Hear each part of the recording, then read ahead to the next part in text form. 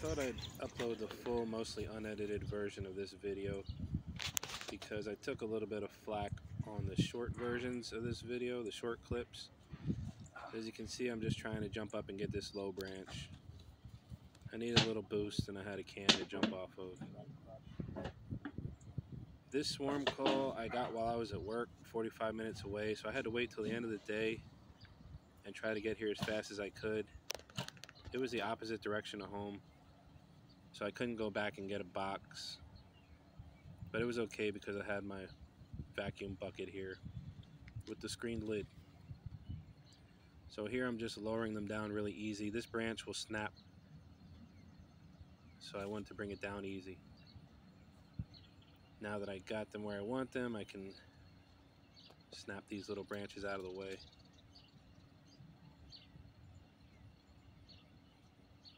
Uh, somebody gave me a little bit of a hard time about not using my vacuum, my bee vacuum, to suck this swarm into the bucket. First of all, I didn't even have the vacuum part, but it doesn't matter if I had it or not. I would never vacuum a swarm of bees that's easily accessible. The bees in this swarm were engorged with honey. To suck them through a vacuum in this heat would have left me with a big soupy mess in my vacuum. So when I shook them, it was a big swarm. Some of them spilled a little bit. It's not a big deal. They all went in when I sat the bucket down. I got 99% of these bees. Wow, that is crazy. I took a couple little stings on the back of the neck. Very common place for me to get stung. I don't know why. Here I'm putting the screen, the lid on. But it lets in a lot of light. So I wanted to block some of the light by putting some leaves over the top. Make it a little bit darker in there for them. And it worked. They all started pouring right into the bucket. Making sure it's open. Moving a little bit closer. The guy who called me was nice enough to film here, but kind of got attacked by a bee a little bit. You know, kind of freaked out. It happens, but he recovers pretty quickly and comes back. I see him kind of struggling, so I come over to grab my phone. Sorry, I'm trying to hold it. I'm getting attacked over here.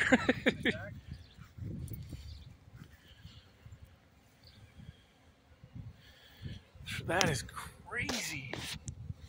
He was kind of laughing because it was funny kind of seeing him run around. So they're all filing in. The sun is really beating on this bucket and everything. I'm just burning up, dying here. So I want to quickly move this thing into the shade as soon as possible. So I move it over here behind this headstone. And I waited about a half an hour for practically all the bees to go into there. They rode in the front seat home. Here's when I got them home. I just the lid off. I'm getting ready to dump them into this empty hive, but they're already going in. And I gave them a little dump, and here they go. They're just going right up and going in.